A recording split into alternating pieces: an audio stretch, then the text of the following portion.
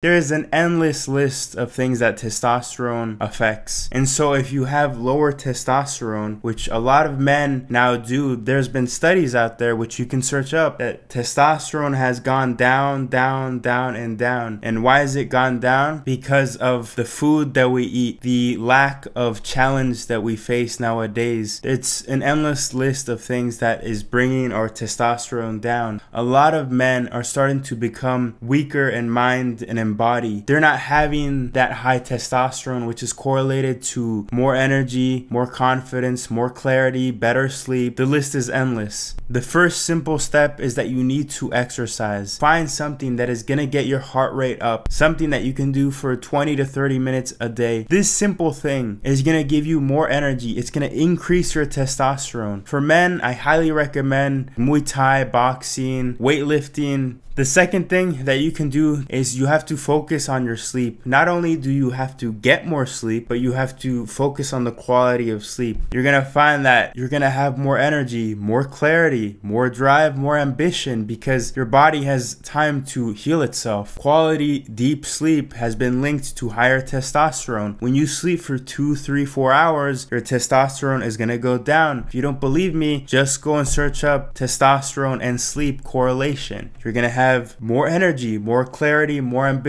Before, I was getting depressed because I wasn't sleeping. I was sleeping four or five hours. And the third thing that you need to do is to get enough vitamin D. A lot of people are vitamin D deficient. We get vitamin D from the sun simply by being outside. There's certain people that live in certain states that they don't get enough sun because it's always cloudy, it's always raining. Take a blood test to find out what is your vitamin D. Or you can simply ask your doctor, can you test me for vitamin D? If you are low in vitamin D, not only is that going to lower your testosterone, it's going to lower your mood, it's going to lower your energy. Focus on exercising, focus on sleep, on getting enough vitamin D, which you can get from the sun or supplements as well. And I guarantee that if you do this, your drive, your clarity, your ambition, your mood, your mental health, physical health, everything is going to skyrocket. Choose power over weakness.